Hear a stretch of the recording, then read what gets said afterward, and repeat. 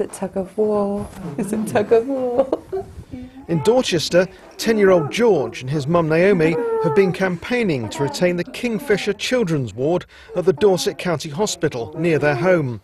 George, who suffered brain damage because of meningitis, often needs medical intervention.